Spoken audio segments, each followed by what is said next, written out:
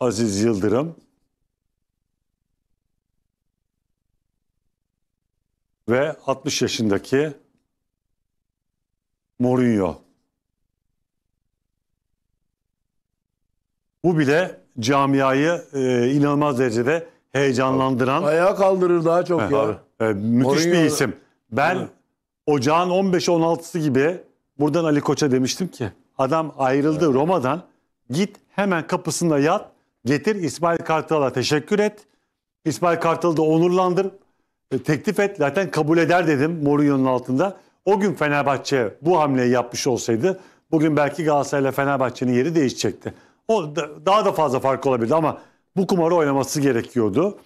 Bu e, gömlek İsmail Kartal'a e, biraz büyük geldiğini düşünmüştüm. Selim abi doğal olarak bir Fenerbahçe olarak e, İsmail'le büyük iş yapıldı. E, İsmail'le devam edilmesi gerektiğini söylemişti.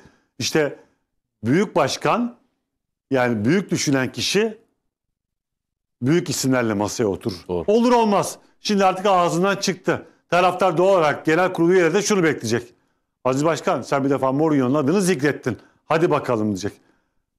Tabii ki ikna etmek kolay değil yani. En az 15 milyon eurodan bahsedecek Mourinho. Hadi ona indi. 10 milyon demek yani bugün e, yaklaşık 350 350 milyon milyon lira e, yapar. gibi bir para demek. Daha da fazlası var. Ama e, şimdi ekibini de yazıyorum Aziz Bey'in. E, Mahmut kesin olan isimler. Uslu, Ali Yıldırım, Önder Fırat,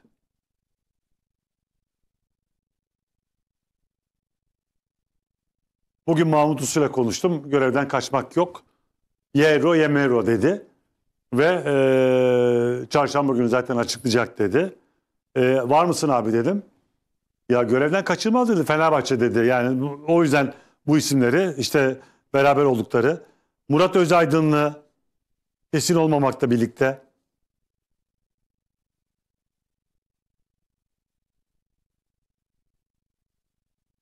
İlhan Bey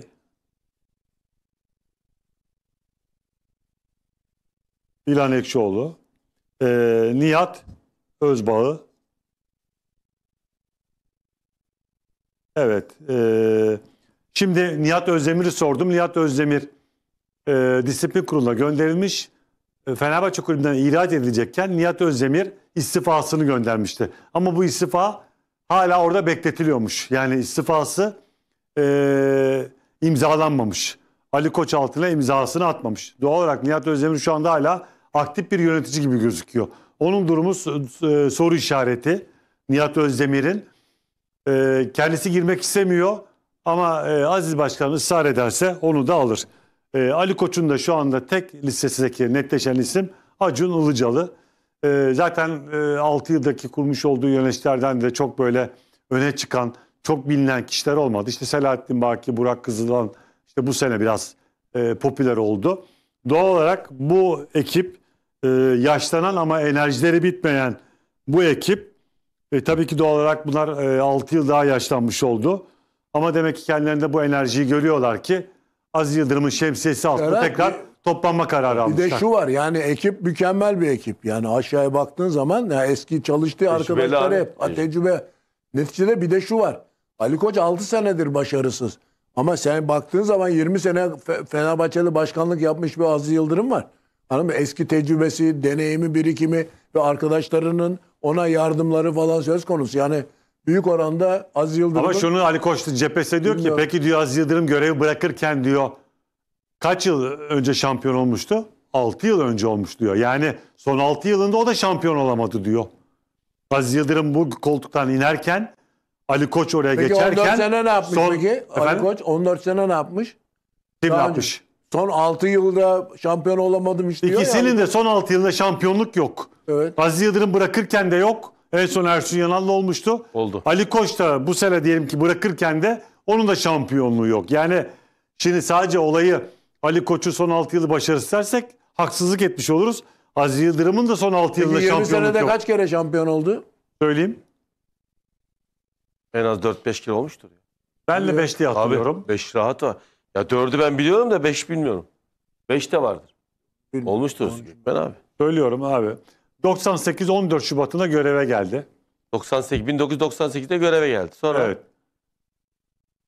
Ee, 98 98'e geldi. Ee, kaç defa şampiyon olmuş? 1 2 3 3 4 5 5 6. 6 6 şampiyonluğu var 20 yılda. Yanlış.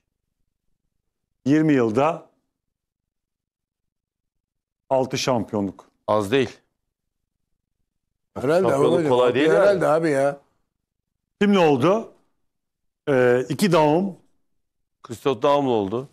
Bir tane Mustafa Zico. Denizli. Zico, Mustafa Denizli. Mustafa Denizli. Ay- şey Aykut Kocaman, Ersun, Ersun.